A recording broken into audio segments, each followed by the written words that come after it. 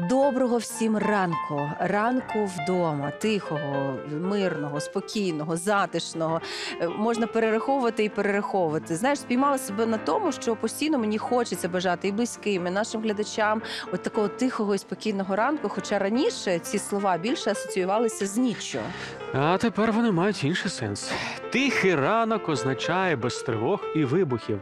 Усі ми хочемо саме такого ранку і дня, і вечора. Гадаю, що ці зміни в нашому сприйнятті свідчать про те, що всі ми українці травмовані тією чи іншою мірою.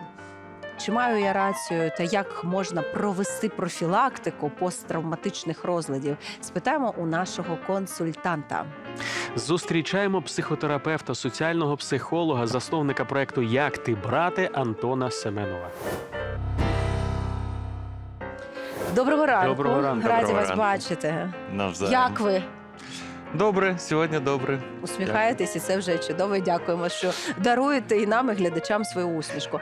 Нас е, звідусіль попереджають, що після війни буде дуже багато захворювань на ПТСР. Е, чи це правда, чи це проблема все ж таки занадто така роздута? Як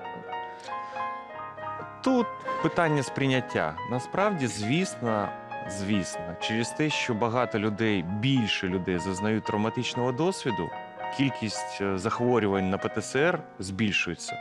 І насправді воно вже збільшується. Тобто, це, звісно, серйозна проблема, і треба про це думати, готуватися, займатися профілактикою і так далі. А, скажіть, будь ласка, а коли буде, ну якщо можна так сказати, пік захворювань на ПТСР, і наскільки він буде великий? А, Тут слово пік, воно таке складне, тому що, в принципі, е, лікування ПТСР це тривалий процес. І якщо ми маємо багато захворювань, то це складно назвати піком, тому що Ага. вони будуть розтягнути. А збільшення, збільшення, звісно, ну, може бути пов'язане е, з тим, е, якщо багато буде одночасно демобілізованих Мгм. людей, які отримали травматичний досвід, але не можуть е, не мають можливості його осмислювати. Тут вже справа в тому, що е, наша психіка, коли ми в бою чи в бойових умовах, вона мобілізована, і якби от ці психологічні всі осмислення, досвід, що з ним робити, воно все відкладається, а, як стиснута пружина.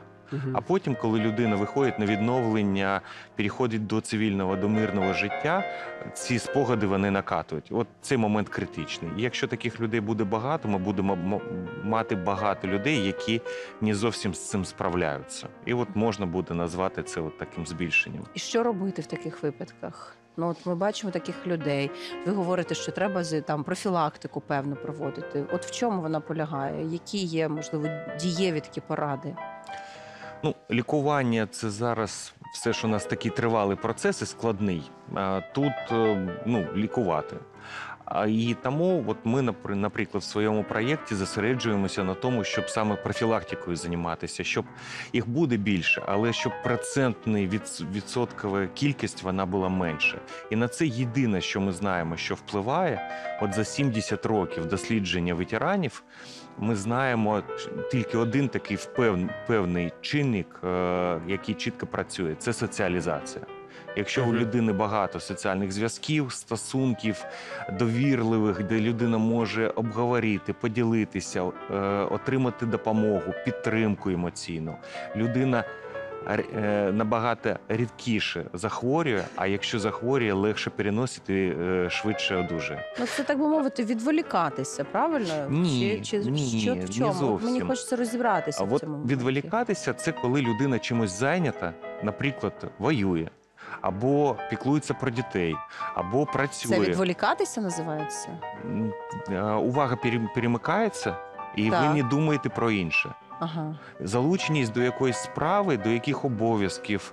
а, Це може бути там щось позитивне, щось негативне. Це не має значення. Так, потім людина повернулася. В неї все ж таки є оцей посттравматичний синдром, та з яким вона важко справляється. Ні, коли вона повертається, у неї ще нема синдрому.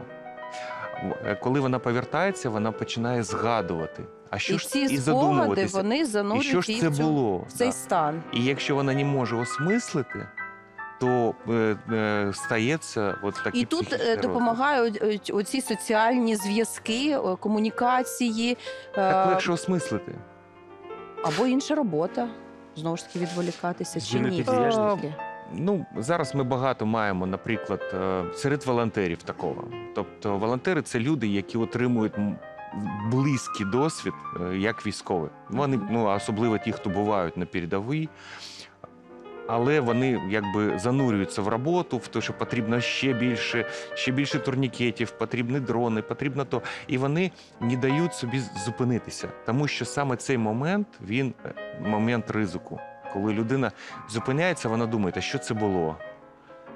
І треба Мгм. кудись це покласти. А там такі речі бувають, що їх дуже важко кудись покласти. І тому от в цей момент потрібна або фахова допомога, або просто дружня розмова, де людина може сказати так.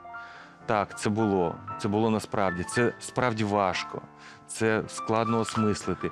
І людина вже розуміє, що це більш-менш нормально, і можна якось це кудись покласти. І так починається процес лікування.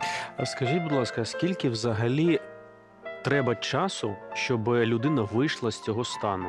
Ну, в середньому, я розумію, що це все дуже індивідуально, але якщо можна в середньому.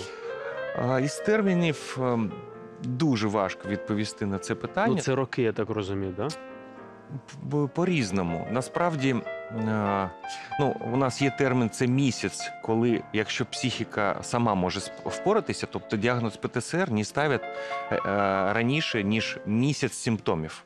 Тобто, Мгм. от у людини пішли спогади, флешбеки, е, ось вона, вона ж вийшла в цим, з цим в контакт, і якщо за місяць вона не справляється, то в принципі з медичної точки зору ми говоримо, ну можна ставити діагноз ПТСР і вже до фахівців. Тому що насправді згадувати важкі події це нормально для будь-якої людини. Але просто ну не через те, що це занадто складний досвід, недостатньо підтримки, хтось може не впоратися. І тоді потрібна вже а, більш фахова допомога. І там після, після цього дуже залежить від знову ж від стосунків, від стосунків е, цієї людини з фахівцем, який з нею працює, або з фахівцями.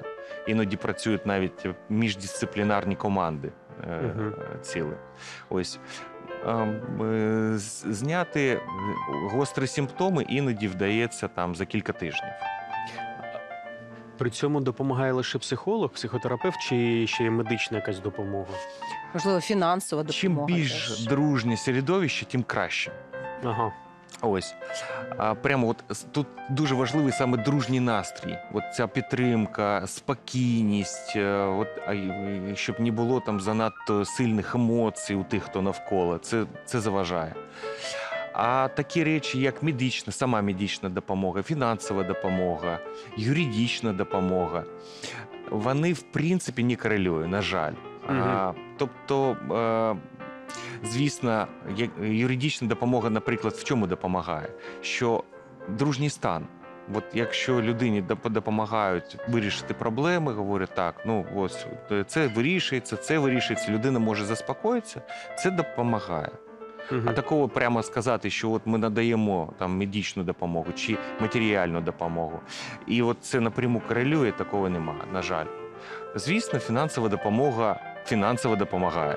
Людина, ну е, і це має бути. Угу. Але просто це трохи різні речі. От єдиний фактор, який чітко впливає, це соціалізація. Угу. Навіть з тими, хто надає фінансову допомогу. Мгм. Дякуємо. Дуже цікаво. Це дійсно така тема, в якій треба занурюватися, копатися, розбиратися, бути дуже обережним, робити такі крихкі кроки, тому що ми ніхто не знаємо, як поводити себе, як, е, як допомогти. Е, І це все дуже індивідуально. Треба просто відчувати, любити, допомагати, не знаю, говорити. Е, Є певні ситуації, е, де реально складні, саме тому, що у нас в суспільстві нема готових рецептів, шаблонів. Я ж кажу, ніхто до цього не готовий. Так. Так. І саме через те ми в проєкті, е, в своєму в проєкті Як ти брати, ми намагаємося от створити ці прості шаблони, прості інструменти, алгоритми, що сказати, як почати розмову. Наприклад, ну краще сказати, як ви зараз, ніж як ви.